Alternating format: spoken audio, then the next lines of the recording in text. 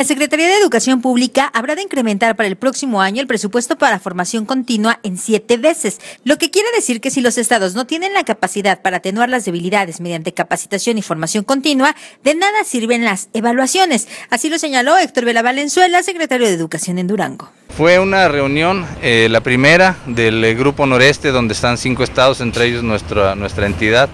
Eh, una reunión en donde fue justamente para refrendar el compromiso de trabajo en torno a la reforma educativa. El compromiso, por ejemplo, de continuar con las evaluaciones, el compromiso también de respetar las prelaciones de todos aquellos eh, maestros que presentaron para una plaza y, lo, y fueron, resultaron idóneos y en los primeros lugares respetar la prelación, el establecimiento de una, de una acción eh, eh, con conjunta entre Federación y Estado para darle eficiencia al proceso de construcción de nuevos espacios o bien el mantenimiento de espacios a través de los certificados de infraestructura que recién hablábamos de ellos.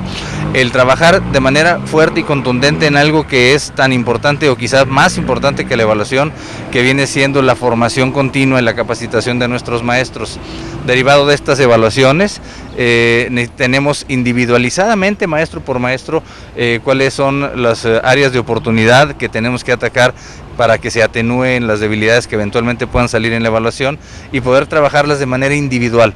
Este es un tema que yo debo destacar, el señor secretario nos anunciaba que se va a incrementar en siete veces el presupuesto para capacitación y formación continua en el 2016. ¿Qué quiere decir?